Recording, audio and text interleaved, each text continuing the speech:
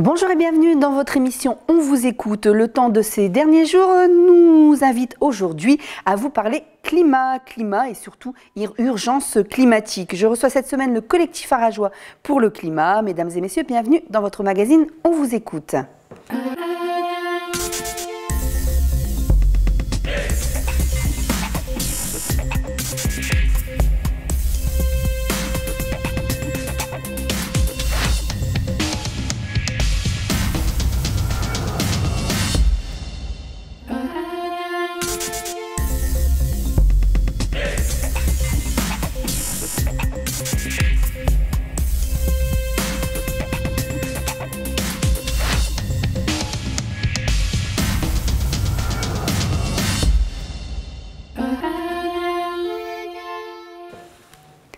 Bonjour à tous. Bonjour.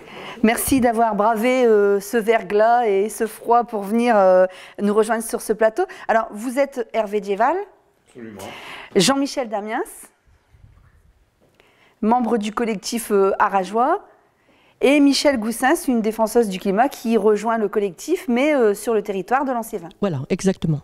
Alors, première question, un peu euh, rentre dedans, mais euh, cette semaine, un bel épisode de neige, euh, de verglas, de froid, une, un épisode habituel en hiver, on va dire, puisqu'on est en hiver. Alors tout paraît normal pour cette saison.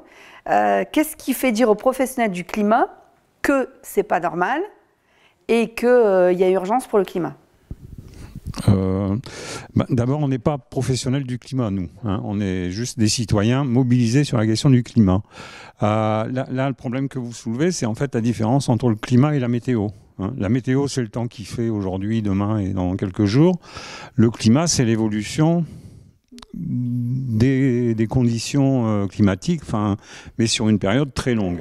Donc il faut bien rappeler ça, c'est que la météo et le climat, ça, ça se rejoint, mais mais ce sont des choses totalement différentes. Effectivement, on peut avoir des, euh, des épisodes euh, climatiques, enfin météorologiques, qui correspondent à la saison dans laquelle on est, mais sur une longue période, on s'aperçoit effectivement que la température globale de, de, la, terre, de la, Terre, augmente et on est aujourd'hui globalement à peu près à, une augmentation d'un degré, un degré deux en moyenne. Ce qui veut dire que dans certaines euh, parties de la Terre, ça, ça a augmenté beaucoup plus. Alors, qu'est-ce qui va se passer si on n'agit pas vite aujourd'hui Et qu'est-ce qui se passe déjà? Alors, il y, a le GIEC, hein, qui est un groupe de scientifiques qui travaillent sur l'évolution du climat, euh, qui, en fait euh, potasse toutes les études qui sortent sur une période donnée. Donc ce groupe d'experts produit depuis 25-30 euh, ans des rapports régulièrement et pointe régulièrement l'augmentation du climat, euh, l'augmentation des températures. Il pointe aussi le fait que l'augmentation de ces températures, elle est en rapport direct avec les activités humaines, avec le rejet de ce qu'on appelle les gaz à effet de serre. Hein. Il s'est montré dans un premier temps relativement prudent en disant il est probable que ça, euh, que ça soit en rapport avec les activités humaines, mais au fur et à mesure que les rapports ont sorti, c'est devenu de plus en plus probable. Et aujourd'hui, ils en, affirment la certitude. C'est-à-dire qu'il y a bien une correspondance entre les activités humaines et l'augmentation des températures. Donc ça se, euh, on, s'en aperçoit euh, comment? Par les, tempêtes ah bah, je suppose, je suppose que le, dérèglement bah là, là c'est plutôt les conséquences. Euh, je, pense que ils s'en aperçoivent en prenant des mesures régulières des températures en nombreux points de la, planète et on voit que d'année en année ça, ça augmente. Enfin, Jean-Michel, je ne sais pas si tu peux préciser. Oui, oui, non, mais bon, tu, as raison euh, derrière tout ça. Mais ce que je voudrais simplement compléter au niveau euh, bon, de la météo, par exemple, et qui a un rapport avec le changement climatique, c'est que, euh, bon, par exemple, les, euh, on voit des périodes de sécheresse beaucoup plus longues qu'avant dans notre région et ailleurs. Et on voit aussi, disons, des pluies torrentielles de plus en plus fréquentes en été dans notre région. Donc ça, c'est aussi lié au changement climatique. Des inondations un peu partout dans le monde aussi, en France. D'accord. Donc ça, c'est des, des, signes que le climat est en danger. Oui, non, mais qu'il y a une modification, véritablement une, une modification. Alors vous avez, vous avez décidé de, de créer... Oui Oui, juste une précision encore, c'est que euh, les conséquences seront différentes selon l'augmentation de, ce, de ces températures. C'est-à-dire que si on reste globalement aux alentours de 1,5 degré, il va y avoir un certain nombre de, conséquences qu'on peut déjà commencer à imaginer. Mais si ces températures augmentent de 2, 3, 4, 5 degrés, euh, là, on rentre dans quelque chose que les experts disent absolument immaîtrisable. C'est-à-dire qu'on ne sait pas du tout où on va, on ne sait pas du tout comment ça va se passer. Et euh, de plus en plus d'experts disent même que la, présence de la vie humaine sur Terre risque d'être mise en question. Pourrait disparaître. De quelle manière, vous savez? Ben non, puisqu'on ne sait pas trop où on va. Donc, ben, c'est-à-dire que la, Terre, enfin, ça risque d'être invivable pour la Terre. Quand on voit, par exemple, cet été où il y a eu euh, la, canicule, Bon, ça a été mieux géré parce qu'on a l'expérience de la précédente, mais la précédente, il y avait eu quand même, euh, je crois, entre 13 et 15 000 morts hein, supplémentaires. Donc on voit quand même que ça a un impact direct sur les, sur les populations. Euh. donc après, je ne sais pas du tout comment ça va, ça va se passer. Quoi. Alors comment, comment est né ce collectif? Euh, alors bon, là c'est le collectif à la Rajoie, c'est donc c'est toi. Comment est né ce collectif? Alors, ben, le, collectif Arajois, c'est effectivement suite aux, marches pour le climat qui ont eu lieu à Lille en septembre et en octobre. Euh, donc l'idée a été de dire on va euh, faire quelque chose nous sur Arras. Euh, donc c'est au, au, départ c'est un certain nombre d'associations, de syndicats et de partis politiques qui se sont rencontrés, qui ont dit on va créer ce collectif. Euh, et puis, naturellement, euh, au fur et à mesure qu'on a avancé, ce, il était évident que ce collectif euh, concernait aussi tous les citoyens. Donc aujourd'hui, c'est un collectif qui rassemble des citoyens et des organisations. Tout comme le collectif qui se crée là. Euh, presque en même temps parce que vous ça fait oui oui vous êtes vraiment des collectifs très très jeunes hein, vous globalement en même temps en décembre, il y a à peu près deux mois à peu près deux mois, oui. Parce que c'est pareil que pour euh, Arras. Donc nous, nous aussi, c'est suite aux marches euh, climat depuis, qui ont eu lieu depuis le 8 septembre en France et en région. Et puis suite aussi à l'appel de la Maison euh, régionale de l'environnement des solidarités de Lille, qui organise en Hauts-de-France tous les, groupes. Et il y a des réunions qui sont organisées régulièrement pour pouvoir se regrouper et puis aller dans le même sens et s'organiser. Et nous, on s'est créé ici sur depuis à peu près deux mois aussi. Donc on est, on des citoyens. On n'est pas, on, n'est pas réunis pour des questions politiques. On, ce qu'on souhaite, c'est euh, améliorer au niveau de local, euh, comment dire, même le climat sur le, plan local. Qu'est-ce que vous attendez de, de ces collectifs? Euh, Ensuite, qu'est-ce que vous attendez après avoir organisé des actions Qu'est-ce que vous attendez euh, d'être reçu euh, par l'État, de discuter on, parle du grand débat en ce moment avec le président de la République. Est-ce que c'est important d'avoir des rassemblements et de, proposer des idées? Parce que je, suppose que vous proposez des idées.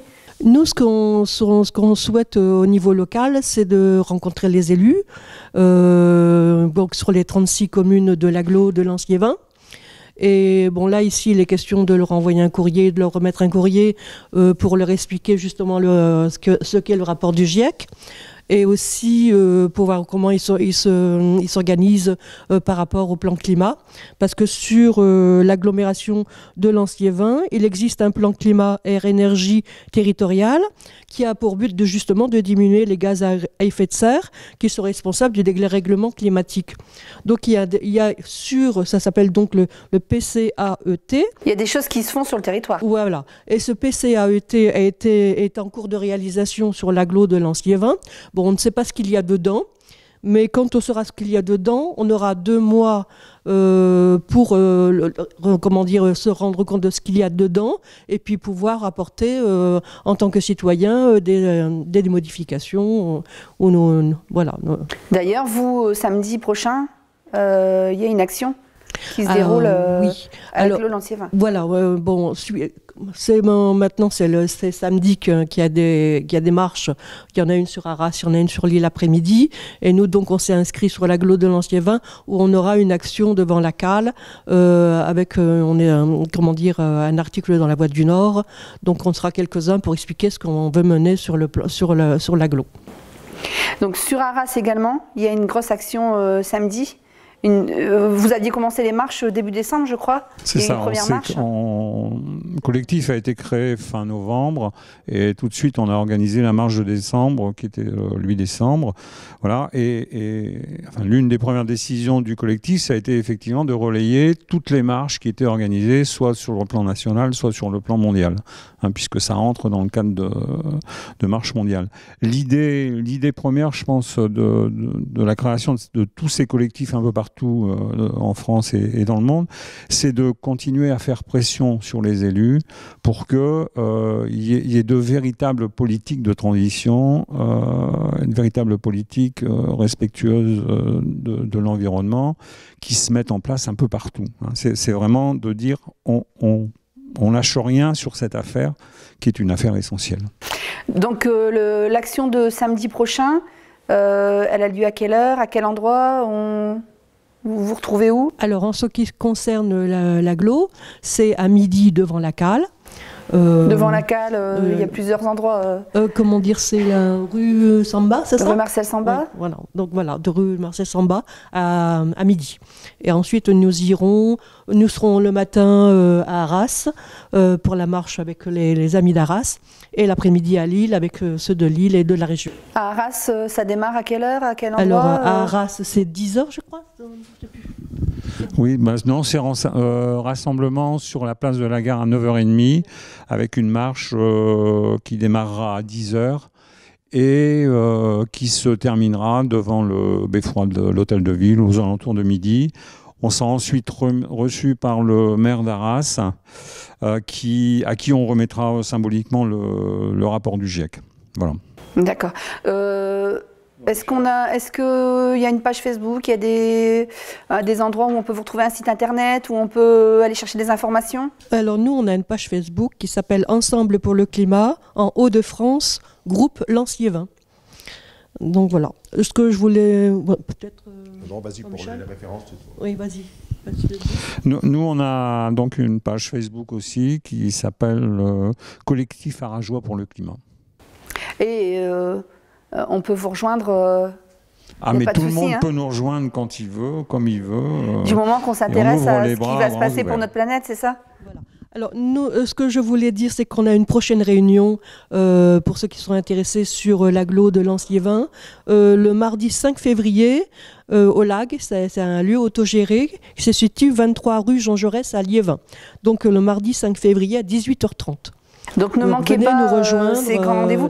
Est-ce que vous avez quelque Est-ce que vous avez quelque chose à ajouter? Est-ce que euh, dites-moi individuellement, est-ce que euh, qu'est-ce qu'on peut faire moi, moi j'ai une information supplémentaire à donner puisque on va organiser le même jour que lance Liévin une conférence euh, qui va se dérouler à la Maison des Sociétés d'Arras à 19h et on recevra Jean-Louis Dufresne qui est un climatologue responsable de recherche euh, dans, dans, des, labos qui travaillent uniquement sur le climat.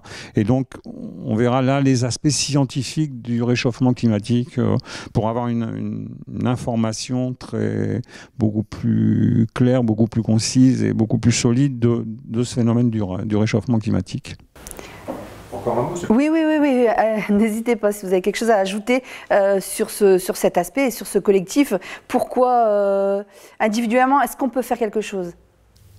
Euh, oui, non, mais bien sûr. Mais euh, bon, ce que, ce que, je voulais euh, moi ajouter, bon, évidemment, tout le monde, tout le monde, je pense, doit se sentir impliqué par, par disons, ce, phénomène du changement climatique, hein, et donc chacun est invité à venir individuellement. Bon, mais ce que je voulais rajouter par rapport aux, élus, il est, il est, certain que, bon, d'une part, toutes les communautés de communes, toutes les communautés d'agglos et de toutes les communautés urbaines sont normalement obligées de bâtir un plan climat. Hein. Alors, euh, d'après ce que l'on sait, je pense que sur la cale, il est en cours de. Donc ce n'est qu'un projet pour l'instant, il n'y a rien de finalisé. Hein, tandis que sur la CUA, la communauté urbaine d'Arras, euh, le contrat de transition écologique a été signé avec euh, le gouvernement, euh, l'un des premiers à avoir été signé il y a maintenant deux ans. Donc on, a, on dispose, disons, d'un document très complet sur ce qui est projeté au niveau de la communauté urbaine d'Arras. Dans tous les domaines, hein, c'est le domaine alimentation, c'est le domaine transport, etc., etc. Donc il y a un, projet qui est très, très, très, très bien bâti, très précis au niveau de, des financements, etc.. Donc nous, notre l'un des premiers objectifs, euh, ce sera d'étudier ce, ce projet et ensuite euh, d'aller rencontrer les élus pour avoir un peu plus de précision. Hein. D'où cette rencontre avec le, maire d'Arras, où évidemment on va lui parler de notre groupe, hein, de, la, de la constitution du, de, de, ce collectif, et puis euh, aussi on voudrait avoir des renseignements sur les personnes référentes, les élus référents, etc. Hein, et on, on, lui proposera, disons, de nous associer quand même, au, au moins au niveau de l'information. Hein, donc on agit dans ce sens-là. Après, euh, bon, évidemment, chacun euh, agit à sa manière. Hein, et évidemment, il y a des, actions individuelles à faire sur, la façon dont on, se, euh, dont, on, se transporte, sur la façon de, l'alimentation, etc., le suremballage, tout ce que l'on veut. Hein. Est-ce que, dans l'avenir, il pourrait y avoir des actions justement de sensibilisation via le collectif, euh, par des ateliers, par euh, euh, des rencontres avec les citoyens, pour parler justement de ce qui est possible de faire? Est-ce que c'est envisageable par votre collectif? Dans le plan climat de la communauté urbaine d'Arras, il est prévu, donc il y a une rubrique sensibilisation des citoyens. Donc effectivement, on demandera des renseignements là-dessus et on demandera à être associé. Merci beaucoup.